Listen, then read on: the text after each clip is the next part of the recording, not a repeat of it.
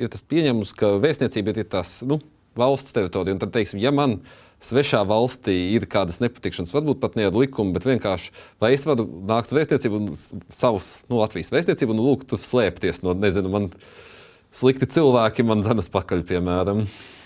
Nu, jā, nu tā ir tiešām tāda no filmām, kad, tā, tāds, jā, kad parādās nezinu, vēstnieks vai konsuls un viss, viss atrisinās, viss, viss jautājumi. Man Sančs arī to, tomēr arī Ekvadorā patvērās, Ekvadoras vēstniecībā patvērās. Tāpēc arī. Uh, nu, jā, nu tie ir tādi komplicēti gadījumi, bet principā jau es, kā es teicu, tad mums kā, kā valstī, mums kā pārstāvniecībai konkrētajā valstī, mums ir jārespektē šīs valsts, un mēs nevaram izmantot ļaunprātīgi.